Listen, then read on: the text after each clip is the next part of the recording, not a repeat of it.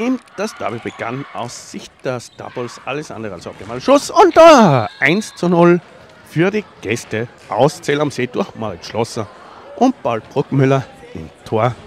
Der Stubbles war zum ersten Mal geschlagen.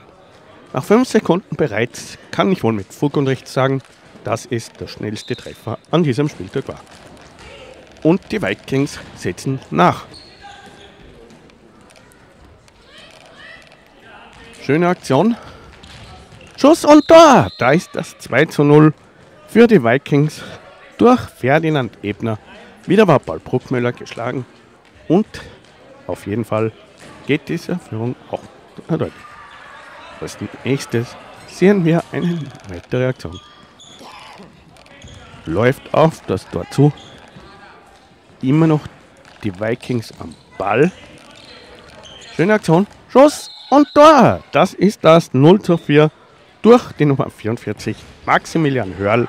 Und der Spielstand nach dem ersten Abschnitt lautete 0 zu 6 und war sehr, sehr eindeutig.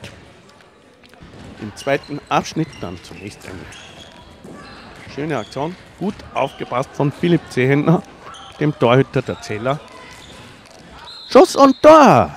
Dieses Mal war es Marit Schlosser, der sich ein weiteres Mal in die Torschützenliste eintragen konnte.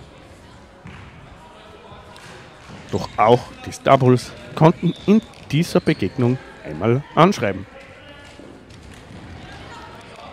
Schuss und Tor! Dieses Mal war Jakob Spielbauer erfolgreich und erzielte das 13 zu 1.